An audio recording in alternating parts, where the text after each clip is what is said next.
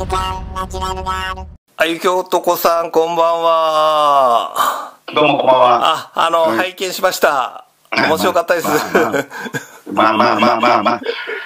まあそんな形で、ええうんありがたいことで、えもうね、一つずつ、こう、やらせていただけるっていうことがこの年でえ、ええ嬉しいことですよ。うんあなたでもそうでしょ、もはい。う。だんだん、分別つく年っていうか、そうですね世の中がどういうもんだっていうのを知ってるわけだからね。うん。まあ、できることをね、着実にやるしかないですからね。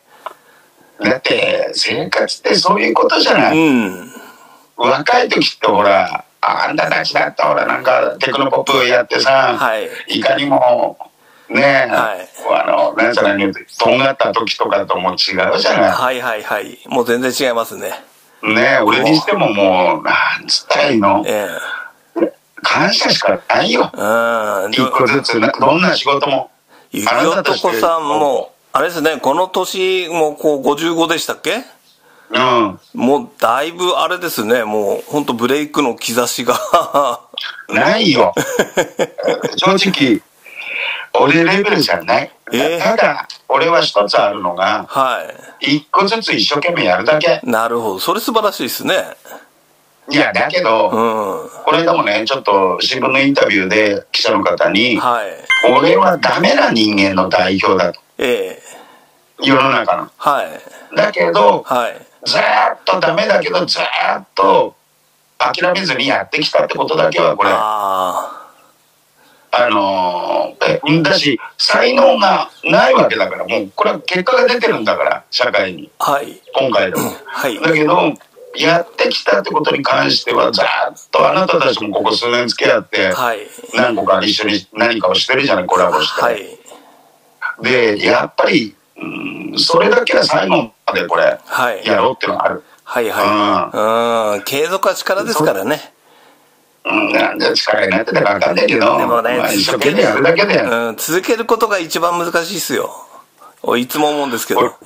いや、これでもね、うんやっとわかるようになったのが、本当に、ずーっとその仕事っていうか、まあ、大したもんじゃないけど、ライブだ、営業だとかしかなかったりとかやって、ラジオだとか、今だと YouTube なんか多くなってるネットの番組とかもそうだけど、はい。小さい大きいってないと思うんだよね。ああ、すごいですね。一生懸命、うんだから、俺もほら、郵便局でずっとバイトしてるじゃない。はい家歴と変わんないぐらい。はい。で、嫌だと思っちゃうやつの気持ちもわかるのよ。はい。あの、お金のためとか。はい。だけど、うん、一生懸命やることによってなんか見えることって、はいそのどんなことでもあると思うんだよね。はいはいはい。だから、バカかもしれないし、ダメな人間かもしれないけど、俺は最後まで一生懸命やろうと思うんですよ。はい。うん物事に関して。はい。だからそれが、だから、やらせていただけるはい。限りやらないといけないと思うね。なるほど。うん。うん、そういうことだね。はい。だから、今回ね、あなたたちともほら、いろいろやったりとか今までしてきて、はい。また違う企画やろうやってなるじゃない。はい。いいんじゃない？それで。はい。で、それを一生懸命やって、あなただって一生懸命編集してもらったりとか撮ってもらって、でこっちは演じるわけだからさ。はい。それ以上のことがさ、何かあるかっつったら、ええないだろうし、で、そこでまた次のう仕事とか明日に向かうってことなんだはいはい。そうですね。一個一個の積み重ねがね、次につながってきますからね。うん。だから、ね、ゆきおとこさん、ほら、うちらみたいなこの弱小の YouTube チャンネルでも、毎回全力でやってくれてますもんね。そこは本当にねもう感謝しかないですよね。て、変な言い方ね。例えば、6000人、この十何年あなたたちやってて登録者数いて、それはどのぐらい見てるかわかんない時もあると思うよ、それは。はい。だけど、そうやって一つずつやってきて、一生懸命やってることに関して、はい一緒にやって、何かをこう一緒に、で、笑顔で別れるっていうか、ほら、握手して、はい。それの全部繰り返しなんじゃないかね。はいはいはい。物事ってね。うん。でも本当にありがたいですよ。いやいや、そんなことは。うちらだってありがたいし、はいたちも喜んでるし、やっぱりおかっぺたちも喜んで、はい新人とかも出て。はい。だからそういう形でいいんじゃない？はい。うんそうですね、これからも。深く考えるとか、はい。うん、てか、そういう人種じゃないっていうので、一生懸命やるだけで、やっぱりさ、これ、俺よく使うんだけど、はい神に選ばれた人種っているよ。はい。だから選ばれてない人間というのは努力して、はい。結局、ね、一生懸命やるってことが、はい。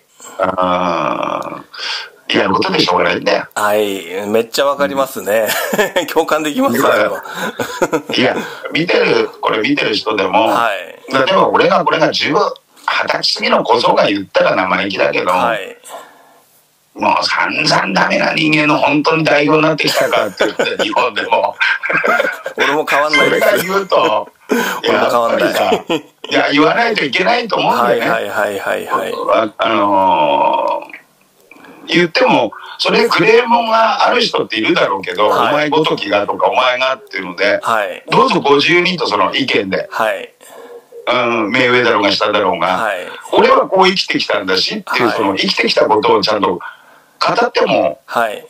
誰にも言われても、あ、はいどうぞっていうので、はい。な直接来なさいよっていうのもあるよ。はい。社会だかはい。ら。あの、私はこう思うんだと。ええ。なぜ今の時代、その、面と向かって言うって人が少なくなってきてるのかね。うん俺なんか、今もはっきり言うからね。はい。あの、あのこれは私の意見なんだけどとか。はい。そそうんですなことってやっぱそういうね。ことだからね。まあいろいろねコンプライアンスがどうだ、セクハラ、パワハラだ、いろいろね、ハラだ、うんハラだっていろいろね、あるから、なかなか言いづらい世の中にはなってますからね。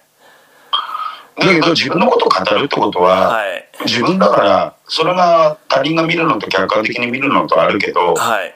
俺は、うん、最後になるけど、ダメな人間の本当に、あれだけど、一生懸命生きてるってことでいいんじゃねえいいか。と思います、それで。俺もそ同じ部類だと思うんで、雪男さんについて頑張っていきたいと思いますちゃんとしてるのと、僕なんかも完全にダメな代表なわけだから、結構っていうので、で突き進んでやるよっていうので、もう後戻りができないわけだから。なるほど。うん はい。で、逆にでも、はいこ。れでちょっと、他のでインタビュー受けた時に、え生まれ変わってもまた芸人やりたいですかみたいになって、えはい。もう一回やるよ。えだけど、今度は若い時からうまく立ち回りするよ、つえって。うん、そうそう。この年になると分かることありますからね。あ うん。でもバック・トゥ・ザ・フューチャーはないからあ、ね。そうですね。過去に戻れないから。はい。まあ、だから明日は自分でまた作れるわけだし。はい。そうですねこ。れでもあるから。まだまだねだからいい明日をまた、うん。何かやりましょう。そうですね。じゃあ、今日またたけし入れたりとか、はいそうですね岡部とか新次とか、みんな、仲間でなんか、タミちゃんとかとはい。やったりはい。しましょうよ。で、一応みんな気になってると思うんですけど、今後の雪男はじゃあどういうふうに突き進むと？大切にやるだけだよ。そこですか、やっぱり？まあもう、だって、それ以上何かって、何がゴールかっていうのが俺も分かってないもん、生きてる。はいはいはい。芸人としても、あの、人としても、男としても。えただ単に、元気でやれるってことを感謝してやるしかないよ。えなるほど。道徳的な意見で最後終わると、はい何言ってんだってなるだろうけど、えいやそんな俺が先なんかも見えねえし、はいで占いとか見てもらってもえ、はい。ああだこうだってのは世の中あるけど、はい。まずは今これ終わって、はいまた明日あることをきれいにやると。はい。じゃあ今までと変わらないってことですね、これからも。変わらないね。なるほど、わかりました。それで確実に、あの、やっぱりこうテレビに出て、ファンは増えてると思うんですよ。確実にいないよ、そんなに。うんいや、あなたぐらいだよ、それは。増えたの。あなたが少し、だから、最後に、じゃあ、あの、このね、全国1億2000万の雪男ファンに向けてメッセージをぜひ、お願いします。じゃあ一言いきましょうか。はい。あなただけに。